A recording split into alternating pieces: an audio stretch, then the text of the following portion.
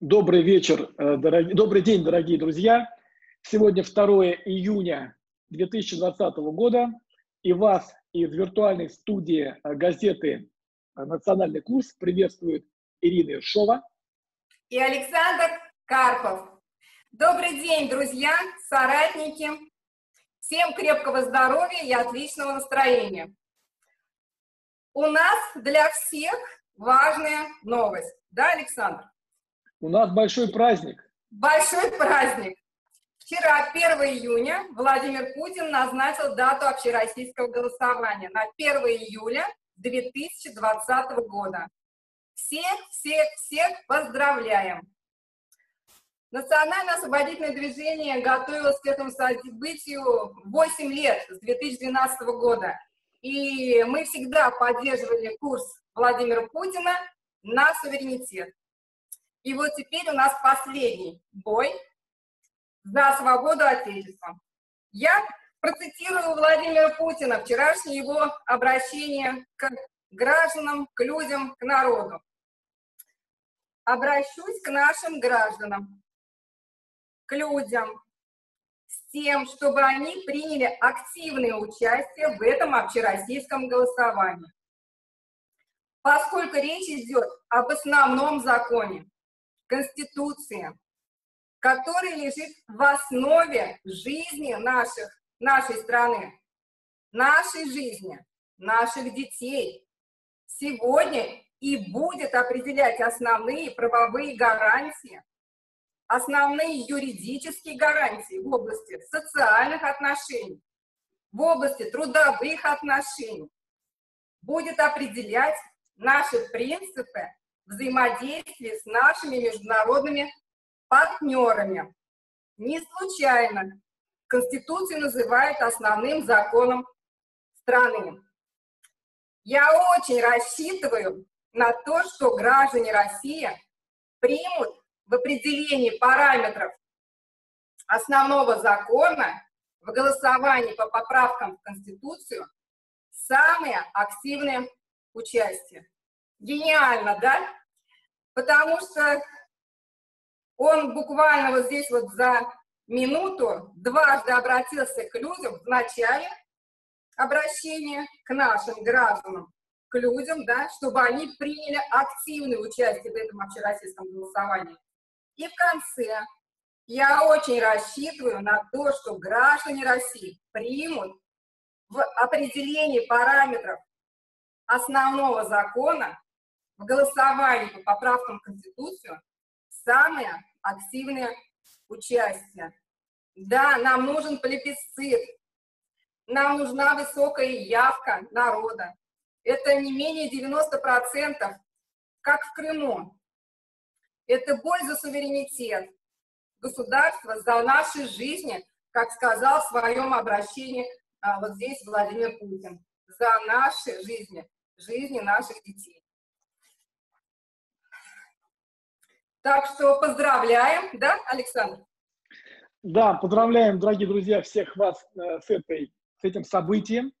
Вот. Причем уже Владимир Владимирович э, уже дважды назначал значит, дату голосования, но в условиях значит, войны, да, э, да. различных уровней, да, пришлось переносить эту дату.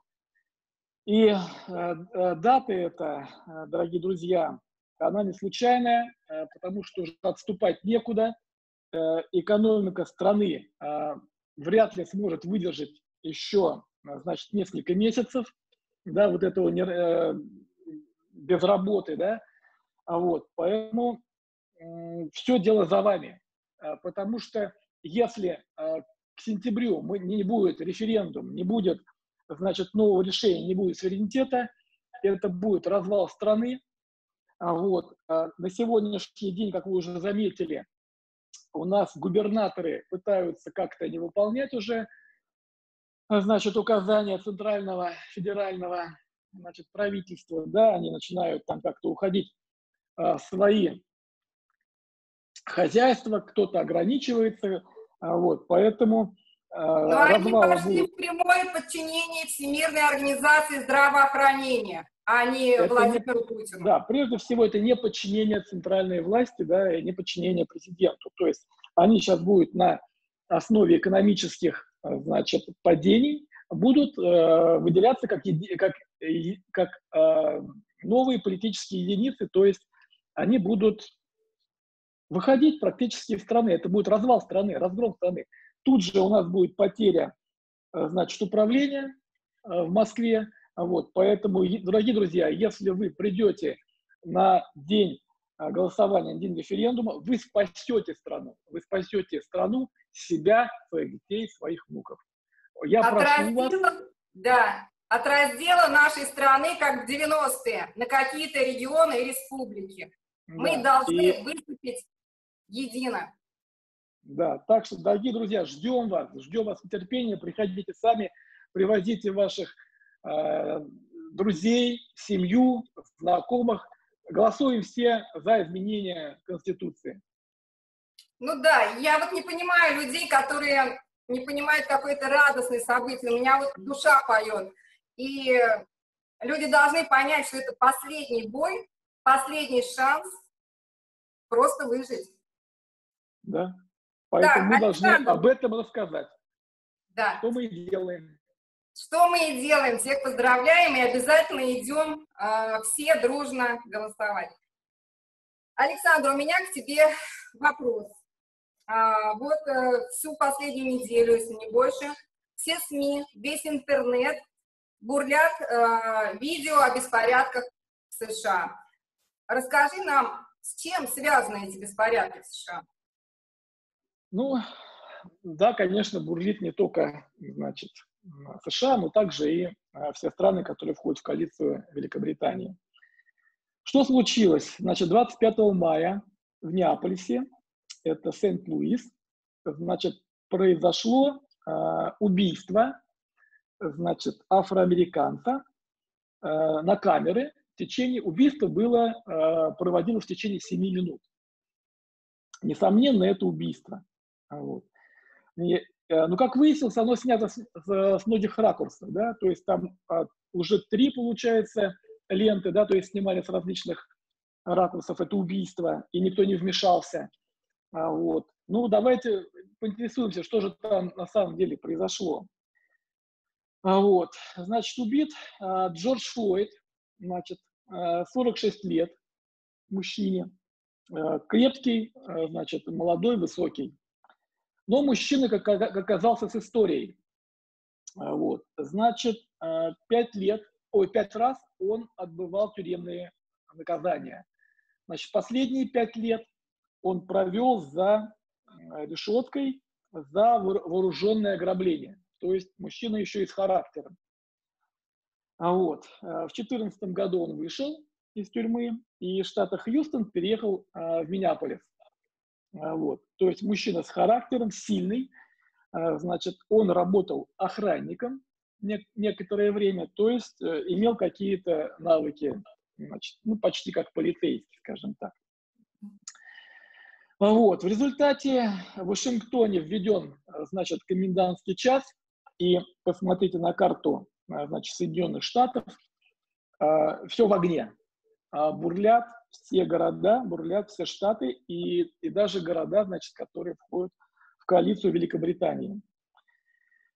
А вот, тут же, а, значит, появилась значит, девушка, тоже афроамериканка, а вот, которая обвинила, значит, в данном действии Россию. Ну, значит, слова ее были переведены некорректно. На самом деле, значит, девушку девушка сказала, что я бы не удивилась, если бы мне сказали, то есть девушка юрист, и тоже, значит, э, это не юридическое обвинение Российской Федерации. Но несмотря на это, значит, многие наши политические деятели, значит, и МИД, значит, э, сказали, что мы здесь ни при чем, и это обвинение. Что за девушка? А девушка, значит, эк-советница Обамы, вот, и сказал он это в эфире э, программы CNN. Зовут ее Сьюзен Элизабет Райс. Э, вот. И отвечала она, значит, э, в правительстве Обамы по вопросам национальной безопасности. Это вам не просто так, да, не с улицы. Девушка взята. Кто же она такая? Значит, мать ее, значит, специалист по вопросам образования. Вот. А отец профессор, э, значит, экономики. А, зовут его Эмит, Эмит Джейд э, Дженниан Райс. Вот. И с 79 по 86 год он был членом Совета управления Федеральной резервной системы Соединенных Штатов Америки от штата Нью-Йорк. А вот, а сама девушка, значит, она является, написала теорию, а, значит, нового морального лидерства Соединенных Штатов Америки. То есть это идеолог, это идеолог, который сейчас, в общем-то, соответствует а, словам Трампа, что Америку он должен сделать, значит, вновь сильной. Вот. И обвиняет, обвиняет она, значит, Россию. Вот. Но а теперь я расскажу свой а, взгляд на данную ситуацию, почему Россия здесь не причастна, и она не может быть причастна. Вот. Посмотрите на карту, горят все города. Вот. Если бы Россия действительно была заинтересована а, в этом действии, вот, то э, где могли бы она значит, спровоцировать данные беспорядки? А, а беспорядки спровоцированы, естественно, кем-то. Вот. То есть то оказывает влияние да, вот на эти вот кварталы негритянские. А последнее время, вот я был несколько раз по работе в Соединенных Штатах Америки, там проживал какое-то время, а вот, то а, каждый район США, у него есть даже не район, а квартал. В каждом квартале есть церковь. Строят ее за деньги бюджета. Вот, то есть община собирается некая, просят э, поставить им церковь. Вот, собирают какой-то небольшой взнос. Вот, и этот взнос приобщается к бюджетным деньгам, и вам строят громадную каменную добротную церковь, где вам значит, э, направляется пастырь, который будет значит, за вами следить и направлять все ваши действия. Вот. В таком случае, значит, э, Российская Федерация должна была бы привести в каждый город как минимум одного нелегала, причем, э, значит, с, черным, с темным цветом кожи, которые могли бы воздействовать на данных людей, да, потому что ну, в основном э, они, они чувствуют, значит, своих, они верят своим, и когда проповедник, значит, в негритянской церкви говорит «братья и сестры», то они э, действительно видят вокруг себя и братьев, и сестер, и они поэтому очень сплоченные в этом деле. Вот. И э, менталитет, то есть это не мы однозначно, говорю, такое количество нелегалов-разведчиков, которые еще могли бы оказывать уже там лет 25 назад, да, и себя зарекомендовать в этом действии, это невозможно. То есть сделано это, и китайцы тоже не могли такое количество набрать. А вот, э, сделано это изнутри. И сделано это, значит, по договоренности тем, кто, значит, э, руководит этими, э, значит, общинами. А вот. И потом, опять же, мужчина подобран, почему афроамериканец, да? Потому что э, менталитет другой этих людей. У них, друг, у них, у них друг, э, другая подвижность. Все другое. Ну, это видите по танцам, по, по, по музыке, по всему. Они э, быстро, э, так сказать, э, реагируют на любое, э, значит, действие, да. И если вы заметили, то э, было вызвано две бригады полицейских, да. И сперва э, мужчина э, Джордж Флойд дал себя, значит, арестовать, он дал себя связать. А вот потом его привели в машину, он сел в машину, потом приехал новый, а, значит, патрульные, ну, другие полицейские. А вот, когда он их увидел, значит, а, у него началось, началась, значит, какая-то борьба в машине, которая продолжалась какое-то время. После этого его выкинули из машины и убивали в течение 7 минут на подкамеры, значит, нескольких там, снимающих, да, а вот. Сакральная жертва?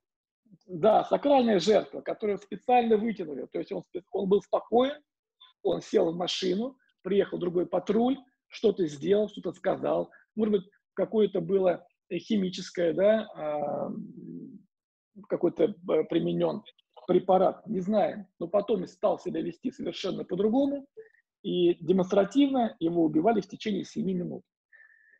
Значит, аналогичная ситуация была, значит, в 2014 году, 9 августа, в Фергусоне, значит, произошли беспорядки после того, как был, значит, также демонстративно э, застрелен Майкл Браун, 18 э, лет от роду. Вот, тоже были беспорядки, но не такого масштаба. А вот. Теперь разбираем дальше. А, из-за чего все-таки были вызваны два этих поряда, наряда полиции? А из-за того, что, значит, э, Джордж Флойд расплатился а, фальшивой 20-долларовой купюрой. Ирина, ты никогда не пыталась нарисовать э, деньги?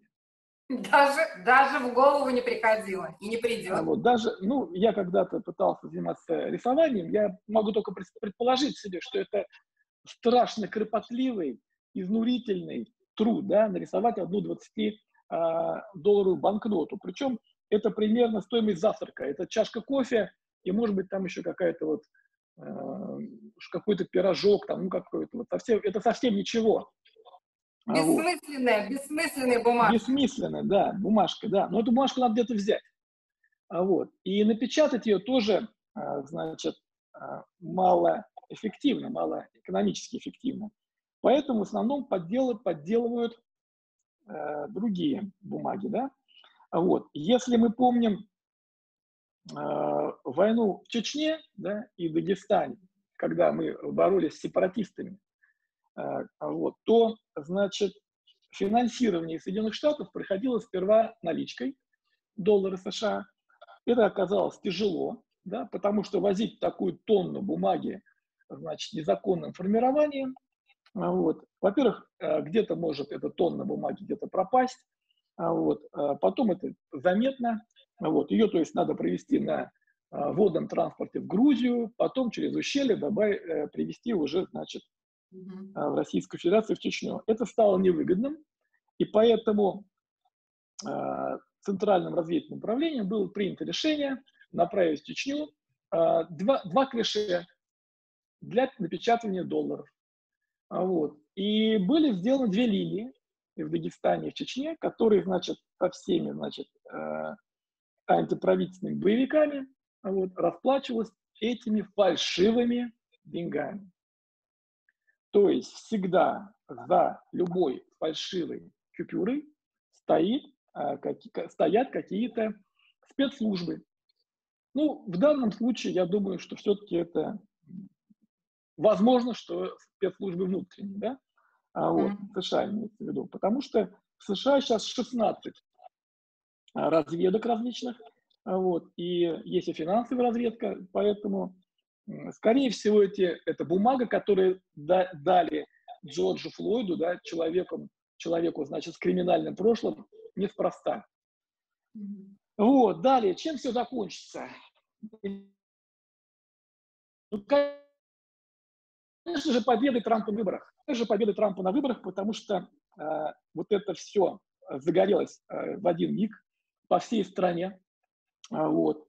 Пока э, я вижу, что никто не тушит пожар, да, то есть сейчас люди должны э, испугаться вот этого кровавого, беспощадного мятежа, да, и когда, э, значит, в Штатах, я имею в виду Штаты, ну, как стейт, да, как государство, у нас же Штаты это не как район, да, это объединенные государства. Вот, значит, губернаторы Э, поймут, что им надо что-то делать, да, потому что у них беспорядки уже мешают э, нормальной жизни, то, естественно, обратятся к Дональду Трампу, а вот, и он будет э, вынужден ввести, значит, или национальную гвардию, или ФМА, да, это ФМА это тоже такое полувоенное подразделение, которое типа нашей МЧС, но только с правом применения а, огнестрельного оружия.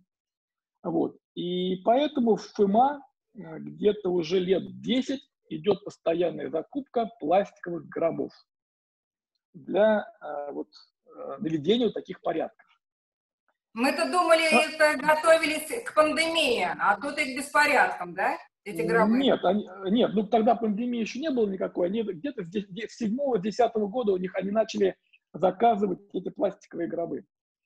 А вот. И именно поэтому, да, а, что я говорю, идет большой, извините, кровавый спектакль перед выборами. Именно поэтому Дональд Трамп два раза ездил на Бесканаверу, где, где запускали в субботу, значит, окончательно запустили, значит, ракету, э, значит, компания SpaceX, э, значит, под предводительством Илона Маска. А, вот. Космос. В космос. Нет, не в космос, а на нашу а станцию МКС. А. На нашу станцию МКС. Ну, вот, это где? А, ну, где? Ну, на орбите. Вот. 40, 42 километра. Да. Вот. Значит, а, было вбухано, значит, в SpaceX, значит, а, мало, уже в течение 19 лет, значит, порядка 1 триллиона долларов. Поэтому это не частная компания SpaceX Алана Маска. Вот. Это абсолютно, значит, э, госбюджетная организация, которая просто сейчас э, там НАСА, да, это как ромашка, ООО ромашка или П ромашка из-за больших, значит, э, там каких-то задолженностей, да, вот, и ее сейчас, очевидно, будут закрывать, потому что отчитаться за последние 60 лет по выполненной работе не получилось у них, да, у них пропали все данные по э, космическому освоению Луны, э, вот, и нет тех тонн грунта, да, э, которые они якобы должны были привести. Я напомню, что наш луноход, когда привез какие-то там десятки грамм лунного грунта, мы поделились, значит, э, с той же НАСА. А вот НАСА по их данным привез просто ящик этого грунта, ни грамма мы не получили. Вот. И я также считаю, что, опять же, это получается опять спектакль, да, у, опять же сейчас у Илона Маска, а, вот, потому что, значит, а, ракета «Атлас», она э, прекрасно выглядит, она такая вся футуристическая, а, вот, интересная, вот, ну, двигатель у нее, значит, Раптор, да, который якобы при, э, научились делать э, американские инженеры. Ну, на, на самом деле там стоит Наш отечественный 180 производство НП «Энергомаш», потому что развить 300 э, атмосфер э, пока кроме э, в, в, в камере сгорания никому не удавалось. Вот, то есть, ну, а Дональд Трамп зато скажет, зато мы делаем ракеты, а также в области балета мы впереди планеты всей. То есть весь этот кровавый спектакль только для того, чтобы Дональд Трамп победил у Байдена. Вот и все. Да. Вот Я так. тоже так подумаю, что Трамп спаси, Трамп приходит и как герой спасает всех. Да, и побеждает. Сейчас к, нему, сейчас к нему обратятся губернаторы, что надо что-то делать, надо вводить, а, значит, национальную гвардию, и гвардия да. придет на спасение, значит, вот от несчастных, кто вовлечен а, в эти кровавые действия. Вот так, Ирин. Спасибо, Александр. Пожалуйста. Так, еще у меня вопрос. Он относится к нашему вступлению о голосовании, потому что все участники НОТ знают, что после проведения голосования нас ждет а, референдум, опять же, общенародный или а, конституционная реформа, по принятию новой конституции референдум или конституционная реформа внутри пройдет уже там наверху, если Путин получит мандат. А что же будут, какие дальнейшие изменения в Конституции? Будут отменены все колониальные статьи, о которых активисты национально-освободительного движения говорят все 8 лет. Это статья 15, пункт 4, где на сегодня действует приоритет международного права над российским законодательством. Это мы уберем. Будет приоритет нашей Конституции, естественно. Статья 13, пункт 2, где запрет государственной идеологии, будем отменять. Государственная идеология у нас будет прописана в Конституции, и она будет обязательно патриотической. Статья 9, пункт 2. А, земля и недра будет возвращена народу. По статье 75, пункт 2. А, Центральный банк сейчас не подчиняется государству. В дальнейшем он будет национализирован, то есть с подчинением. А, вот в связи с этим у меня вопрос по Центральному банку.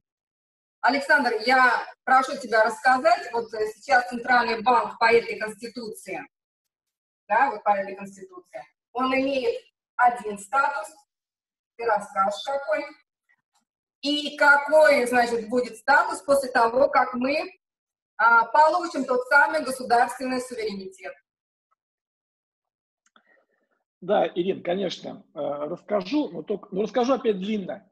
Если ну, успеем, то перейдем тогда на следующий Хорошо. день. А вот, как мы только что выяснили, да, э, значит, к финансовым диверсиям, э, вот, перед войной, да, имеют, как правило, спецслужбы государства-агрессора. Именно такую, значит, экспансию фальшивых денег мы, значит, получили в 1812 году перед вторжением Наполеона в экономику России э, были сброс э, громадного количества фальшивых денег. Также это было в революцию. А вот такие же попытки были и в Первую мировую войну. И именно так поступает любой э, значит, агрессор, который перед входом на территорию противника, который он хочет завоевать, он сперва действует значит, одним из элементов гибридной войны это финансы, то есть это подрыв экономики. Вот. И именно такой подрыв экономики Советского Союза был совершен Михаилом Сергеевичем Горбачевым значит, в 1988 году.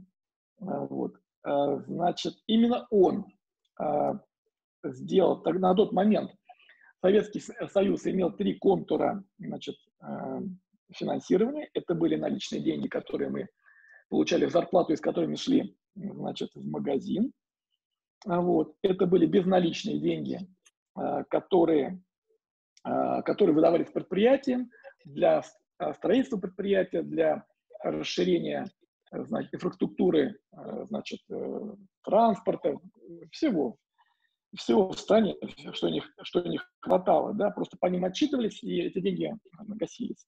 И это был еще третий контур, это, это были э, экспортный дол, это был дол, э, рубль экспортный, э, вот, э, э, это та валюта, которой, значит, Советский Союз вел, значит, э, внешнеэкономическое отношение. Горбачевым все это было нарушено, именно поэтому кооперативы значит, появившиеся как грибы после дождя, стали э, значит, обналичивать э, деньги э, вот, и нанося тем самым значит, непоправимый урон экономике страны. Это был один из мощнейших ударов, который значит, развалил, разваливал, точнее, Советский Союз. Так вот, Централ как раз в это время и сделан. Как раз он был сделан для этого для таких действий по статье 75. А, вот. А, и, значит, он должен был по его значит, статусу а, поддерживать курс рубля и национальной валюты, э, не, не давай сказать так падать. Вот. Так, Александр, я, а можно, я, Александр, можно я зачитаю быстро? 75, часть 2. Давай. Защита и обеспечение устойчивости рубля – это основная функция Центрального банка Российской Федерации, которую он осуществляет независимо от других органов государственной власти. Вот такая вот заявочка. Ирин, а, у меня еще где-то на полчаса, значит, раскрытие темы. Я предлагаю, у нас сейчас время уже заканчивается, я Давай. предлагаю на этом Согласна. нашими друзьями распрощаться а в пятницу мы видим и мы продолжим нашу про центральный банк. Да. Дорогие друзья, вы все прекрасно знаете, что без референдума, без изменения э, Конституции нам не жить. Поэтому ждем вас всех на референдум. Приводите своих друзей, сами приходите, голосуйте за изменение Конституции со своими друзьями, знакомыми, любимыми и всех, кого встретите по дороге. Все правильно. А ты что скажешь? Плебисцит, да, именно да, плебисцит народа. Только это нам даст э, как бы курс на суверенитет. Это же первый этап курс. Вы понимаете, первый этап. Там дальше еще будет борьба. Поэтому давайте все дружно идем, чтобы уж точно наверняка выигрывать и в последующих шагах на референдуме. Все идем на плебисцит. Давай прощаться. Дорогие, друз... Дорогие друзья, все на плебисцит. И так, значит, с вами были в виртуальной студии газеты «Национальный курс» Ирина Ершова и Александр Карпов. Всем, Всем здоровья! здоровья!